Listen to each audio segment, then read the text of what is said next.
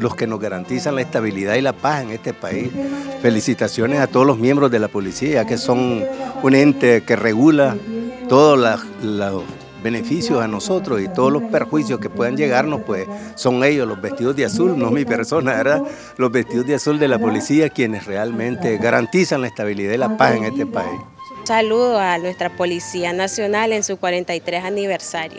Y muchas felicidades a ellos y gracias igual por esa gran labor que desempeñan en nuestro municipio. Le doy felicidades, bueno, por el labor de ellos que son muy importantes en el país, va, porque en ese apoyo que los dan en cuidarlos y, usted sabe que ayudarlos a, al peligro, pues que a veces uno reconstruye el camino y, y en todo eso los apoyan, entonces felicidad y que sigan luchando y ayudándolos más.